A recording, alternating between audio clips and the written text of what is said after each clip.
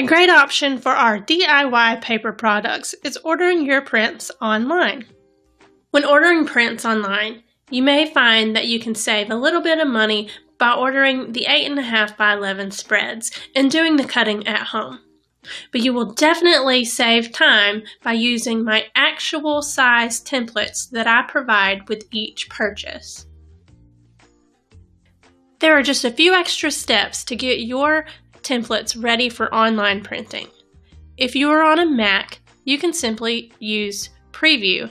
Open up your template, choose Export, and then save as a JPEG on the best quality. On a PC or a Mac without any kind of editing software, you can go to the website pdf2jpeg.net. Choose your PDF file to upload. Select your edited paper template. Change the quality to excellent and convert PDF to JPEG. And now your file is ready to download and use for online